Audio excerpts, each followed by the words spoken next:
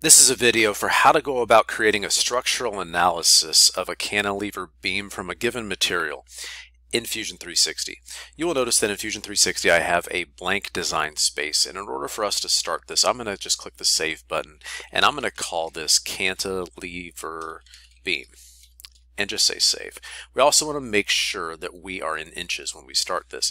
Now within your introduction to engineering design curriculum and you got if you got a materials pack, you will notice we have different, um, you know, it's kind of these bars, if you will. They're technically rectangular prisms, but we'll be doing putting doing some stress analysis on them. You get like a steel bar, a rubber, uh, excuse me, a plastic bar, aluminum, and then you have carbon fiber. And one thing we want to pay attention to with the carbon fiber right now is just the dimensions, and it's 12 by 1 by 1 8. So we are going to jump back to Fusion, and we are going to create a sketch on a plane. And we have 12 by 1 8 by 1.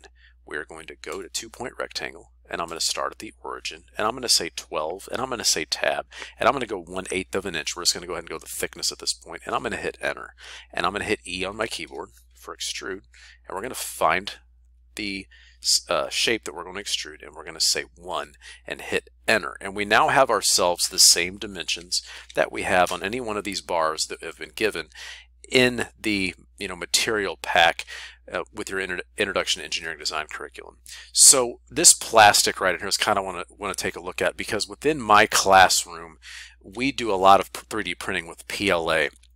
But for the sake of this particular testing, we're going to use ABS plastic because it's a given material within Fusion 360. So we're going to change the material of this bar to ABS plastic. So we're going to go to Modify, and we're going to go to Physical Material and a menu is going to load on the right hand side of your screen and we're going to go down to plastic and you're going to see ABS plastic right here. We're going to drag out and drop ABS plastic onto this bar.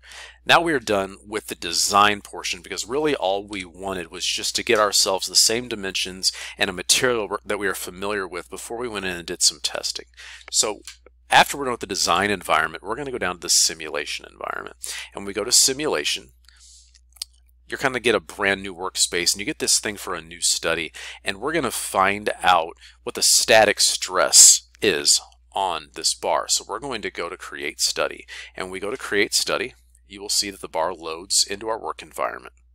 We're going to place some constraints on the object. Now to give you a physical representation of what this is going to look like, this is the exact same dimensions of a bar that we just placed and we're going to put a constraint on the end. You can see right here it's got a clamp here on the end and we went and put some parts from the um, Trammel toy. These are some PLTW parts that we ordered for the Trammel toy and just try to place them on the end and try to see what you know the displacement or deflection would be on a cantilever beam. If we placed some you know weight on it and how the this would respond in relationship to the others. We 3D printed this beam out of ABS plastic and used 100% infill when we printed the beam. So now we're back into this environment. We're going to go to constraints and I want to flip around here on the other side and all I really want to see is just this surface right here. That'd be a little bit easier if I could go into an isometric view like this. And when we go to constraints, we're going to go to structural constraints. And I'm going to click here on the end, and that's going to give us a fixed constraint. There'll be a reaction force um, in the vertical and the horizontal direction, both at the X and the Y, and we're going to say OK.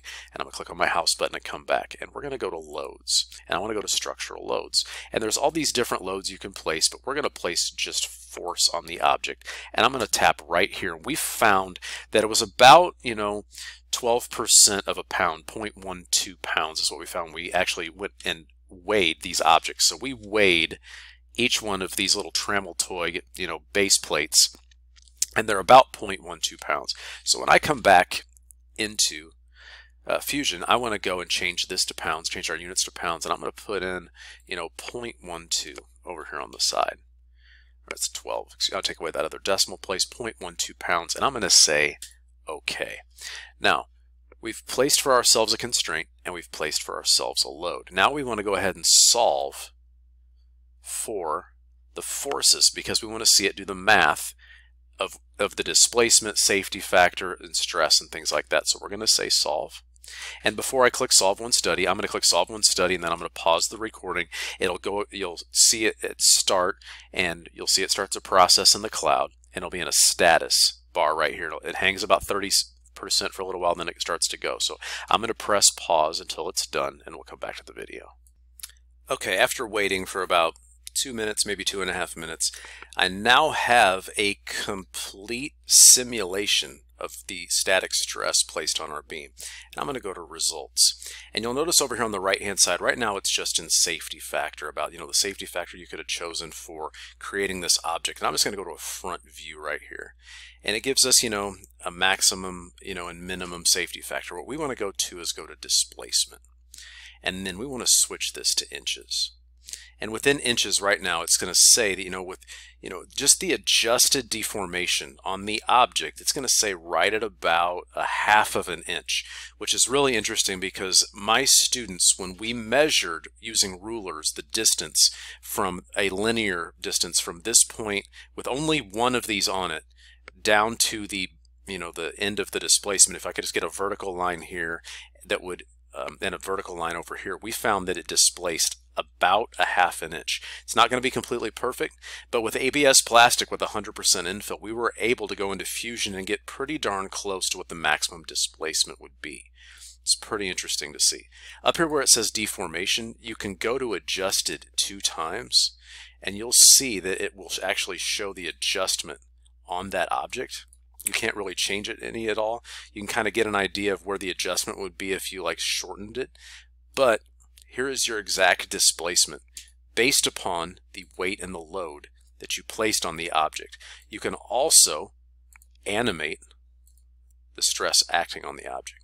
A lot of pretty cool things. You can record this and create a recording for it. You can go into a new mesh display to show how it's broken down into more finite elements. Um, you can come in here and um, manage different things with the cases and things like that things I won't get into in this video. You can have two separate ones going at the same time and compare them left to right. A lot of really, really, really neat things that you can do with this uh, stress analysis. Now the last thing I will go over is when you go to result tools you can go down to report and you can actually run a report of all the different stresses acting on the object. You can name the report so for the sake of discussion I'm just going to call this you know um, video. I'm just going to call this video because I'm making a video about a report and I'm going to go to generate. When I go to generate I'm going to say and I'm going to save this on the desktop of my computer and it's going to auto load for me and you know I don't really need to See that it'll load in Bing. And here we go, a nice little printout of all the data that we got from doing the stress analysis. It's a pretty neat thing. Now notice how it's not really showing any displacement here because I believe I kept it here. If I went to deformation and then came over and ran another one, I would get a full report. I can also get a report adjusted for five times, which is a little ridiculous. I mean, that physically would not be able to hold if I put five of these on here, but if I put two of them on there, you can see how, you know, it's pretty darn close to what it actually winds up looking like in the physical environment. This is an excellent lesson to do, just showing how accurate something like fusion is to the physical world and how you can use this for things other than just design. You can use this for full simulations. In other videos I have, we talk about generative design. A lot of cool things you could do on the artistic side with animations and renderings. But within the simulation function, it's an excellent way to teach about the properties of the different materials. And you can go in and do different materials in fusion. There's carbon fiber in Fusion, there's aluminum in Fusion, um, just there's basic plastics, there's other 3D things like nylon. But within my class, we wanted to 3D print actual plastic that has the actual physical properties that are given already, you know, by default in fusion. So this has been a video for how to go about doing a stress analysis on a cantilever beam from a specific material such as ABS plastic in Fusion 360.